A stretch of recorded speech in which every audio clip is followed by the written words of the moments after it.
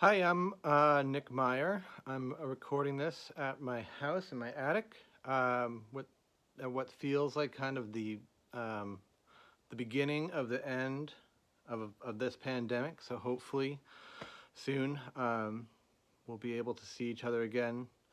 Um, starting to feel that way as summer starts to arrive here in Massachusetts. Um, but I wanted to show you a bit of. Uh, gonna keep it kind of casual um, but show you my books, uh, my books and some other stuff around here that um, that are things that I look at all the time and things that I sort of find inspiring and give me ideas. Um, so let me just show you this bookshelf first. Um, so up here, this is uh, the bookshelf. It's also kind of a den, living room. It's where I print pictures and make new dummies and watch uh, crime dramas.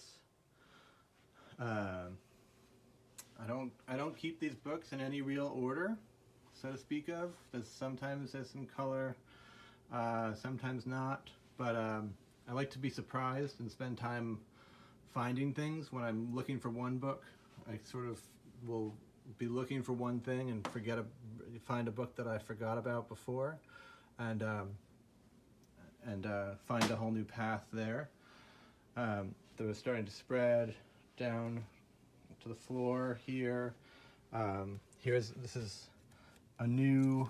I'm starting a new dummy for a, a new book. Um, the way that I've been working, this is actually some old dummies. Um, this is two dummies of a new book that I'm working on um, just to get different sizes and feels of the sequence and the edit and see what it looks like. Um, here's my new book, The Local, as is published, but a couple other um, iterations. I think I probably made, I don't know, 30, 30 different versions of this before landing. This, this early one probably has about, uh, I don't know, 10 pictures that maybe ended up in the final edit, maybe less. Um, so they're all different and uh, kind of a nice record to watch my process and see where I, how my edits go and how my styles change as I go along. I have a shelf here for all the books that I can't sell um, that just live here and will probably live here forever. And um, let's see. So there's all these books. I've pulled a few out, and I'll show you a few other things as I go around the corner here. Um, some more books here, some of the fancier ones, specialer ones. Uh, you can see I'm not the most organized of people, but um, I'll start here. I'll show you um, one thing that I always come back to is uh, found photographs. I kind of hate the term vernacular photographs. It sounds pompous for something that is so um, just so objective. But um, I have a few things down here that I've been looking at. Um, a bunch of negatives that uh, just this is a grandmother and grandson, I assume, and there's a mom and her kids. Um, this is an old uh, dry plate glass negative that I can't tell if it's been damaged on purpose or if it's just a nice accident that this, uh, what seems to be kind of a wrestler, uh, his head's blown up. And um, there's also, this is one of my, well, let's see. There's a somebody looks like they're hiking up a snowy mountain. I'm a real fan of things like this. Let's see if I can, um, where it's early, we'll call it early Photoshop, where they have um, created a cartoon using a photograph, and uh, things like this, where they've just drawn directly onto the tintype, uh, which which looks like a sharpie, uh, so it's probably not that old actually, but I still like um, what's been happening there. Um, here's a, uh, it's hard to see there, but uh, there's a hidden mother with just an arm coming in. And um, I really like the ones that I just find on the street. Uh, this is actually a drawing of Abraham Lincoln that I found.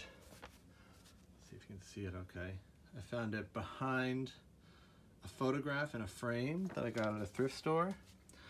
Uh, this is one of my favorite things uh, that I just love because I have no idea what's going on. But um, I found this letter, I think in the Fenway when I lived in Boston, and um, it had this picture of a giraffe inside as well as a, uh, a picture from a photo booth, which is somewhere in this pile.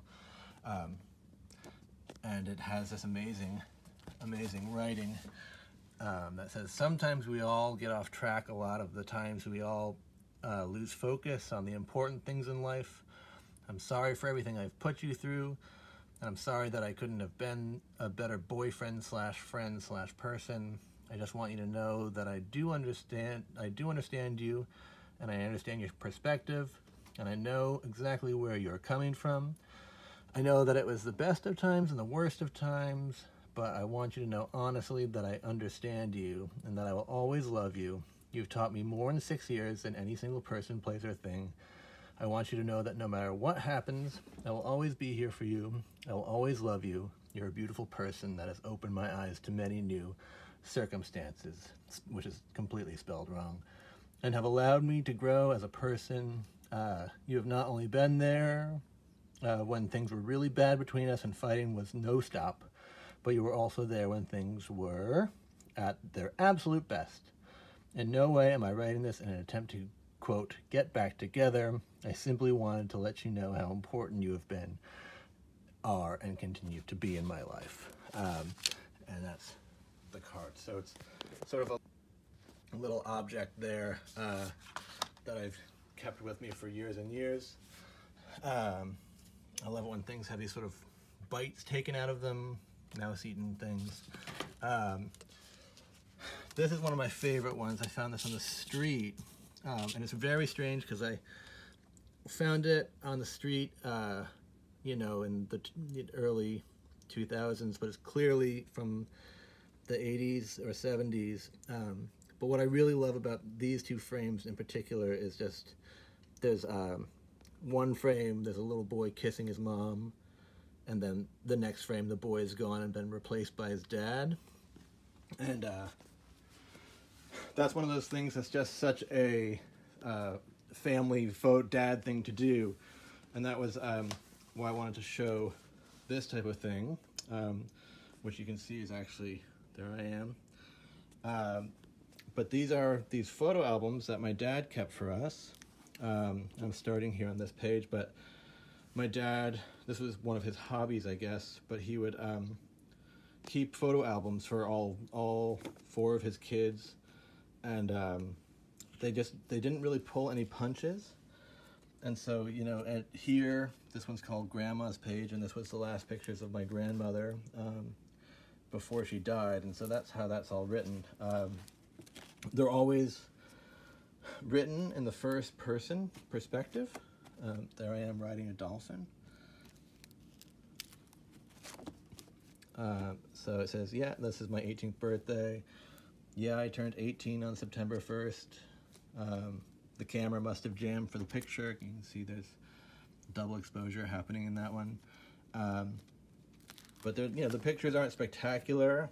Um, they're just kind of the family photos of me, my life, and but they're so highly curated. Um, there's prom. Um, that, and they're just like it's it's um, it's the the narration and that sort of, uh, just how the it's been rewritten. My whole life was rewritten for me, and there's sort of only vague truth. Here's when my right before my grandfather died. So there's there's a lot of reality, happy moments. Um, kind of there's one right when my appendix burst. Uh, first thing my dad did was to take a picture of me in the hospital.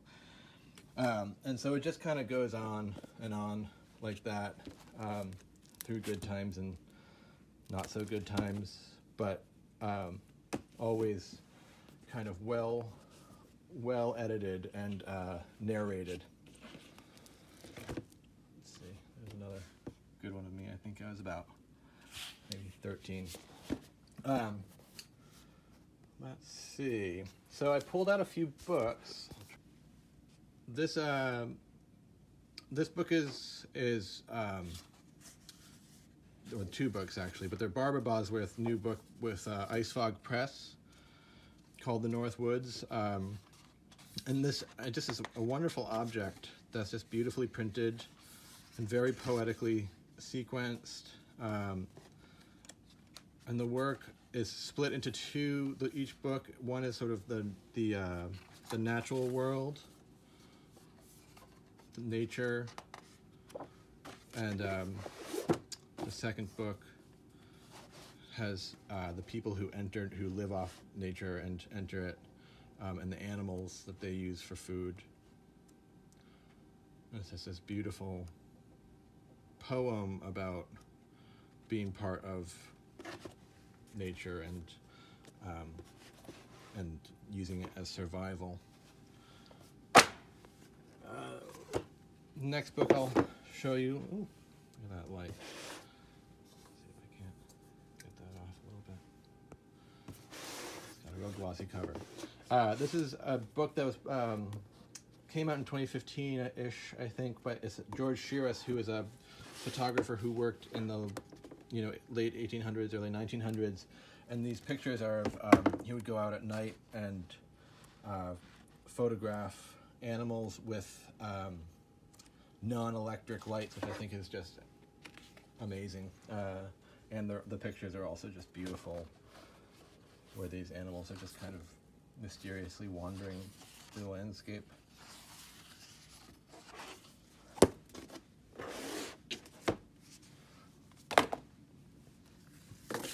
Um, let's see, I pulled out Fires by Ron Jude, a lovely little zine that has this a wonderful sort of using vernacular photographs and uh, objects and images. Um, it's beautiful.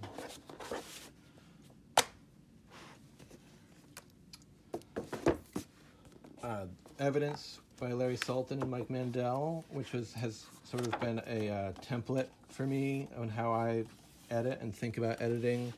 Um, just sort of like the same thing with how I think about using found photographs with these found photographs that can create a totally new and sort of abstract narrative um, that evokes just bizarre feelings and confusion um, in a really wonderful, important book.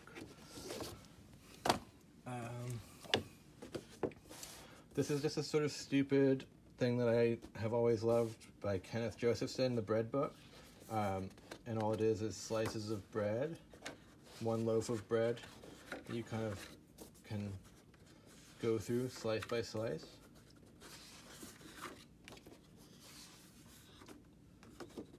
And it just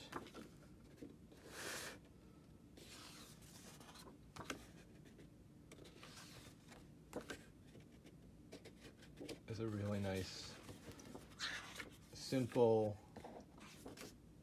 experience about what photography can do. Um, another early influence for me, uh, somehow, I don't know why I was an influence, because it doesn't really relate to my work at all, but um, this Mike Mandel Timed Exposures book, which I think probably has more people know it now from the um, box set that he put out with J and L, but um, I just love this book that he just kind of wandered into scenes and photographed himself um, in different, you know, just just invading space and inserting himself. And of course, it helps that he kind of looks like a real '70s dope. Um, it's just it makes me laugh every time I see it.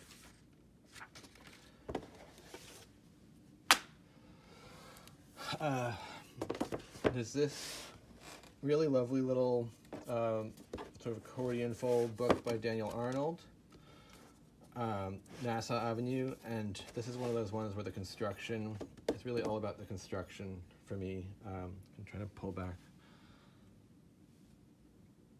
Where you get the sense that you're walking up and down Nassau Avenue in New York. And uh, it's much less about the pictures for me, although the pictures are really, you know, often wonderful and funny. Um, but it just is a real, the, you know, the feeling of walking. Um, this is uh, this one's always Ray's a Laugh by richard billingham um, has always been one of my favorite books um, since i learned about it. And um, it's I, the whole experience of looking at it is just it's such a brutal brutal work but it's done with um, such tenderness and care that even even when we're having these you know sort of horrific experiences um, that there's a sense of humor at play and a sense of love and caring. And I just have always been a big fan of um, how you're able to go like that, just right from a really, you know, something that makes me feel horrible. This man Ray just falling over drunk, and just to lighten the mood, we get a duck. Um, so I'm always always looking at that book. Um, let's see, I have more pulled out here. Some um, books of poetry, which I, I, had to put in here. I won't go through them really, but um, Raymond Carver sort of finds his way into my head all the time. I just was when I pulled this off, I found a nice letter from my uh, my kids in it. So nice to find those types of things in my books. Um, this uh, Coney Island of the Mind by Lawrence Ferlinghetti um, is one that I always go back to. Um, there's certain certain poems in here that always, always are gonna resonate for me. Um, Susan Howe, this book Depths, which I just is such. Uh, I will show you this because she uses words as a visual, um, a visual experience. You can see that better.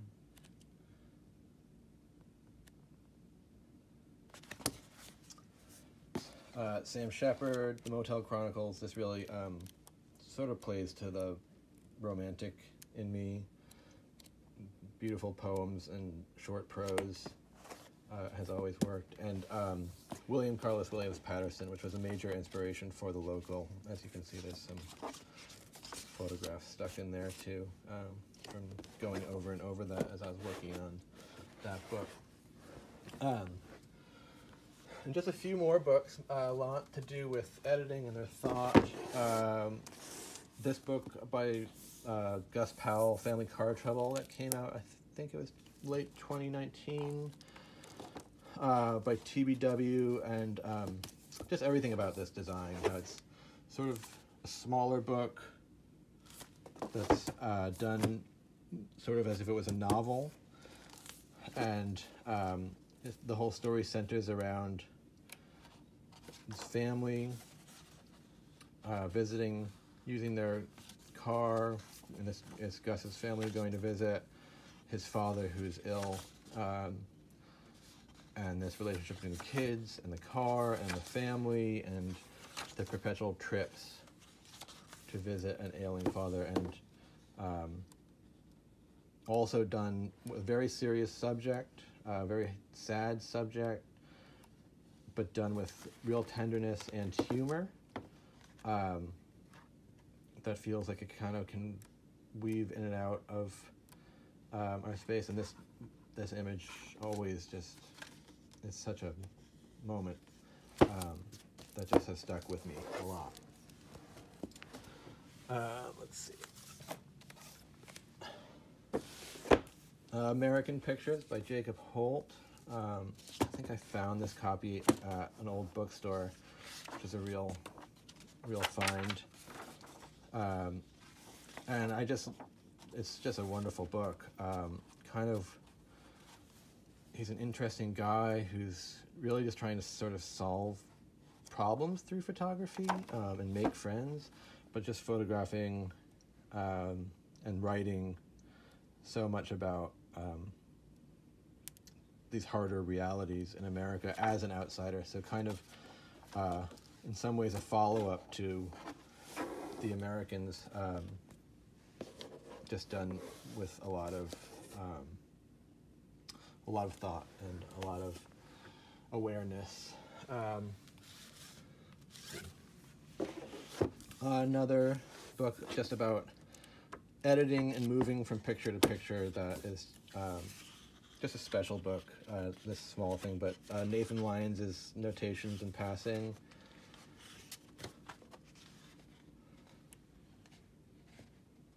Um, which is just, you know, a little bit dated in some of the work, kind of uh, feels a little from that era, the RIT era, Rochester era of photography, but um, really wonderfully sequenced and edited as you move from picture to picture um, to tell a new poem. Um, another all-time favorite that um, I go back to all the time is uh, our, the RFK Funeral Train by Paul Fusco. And uh, just something that can be so simple, um, where there's no real, you don't need to do too much thinking with it. Um, you just have to go along on this ride, um, moving along through uh, through the United States on the train, and it's just has so much such power to it, such a powerful book. Um, you know, something that feels somehow more appropriate these days than ever.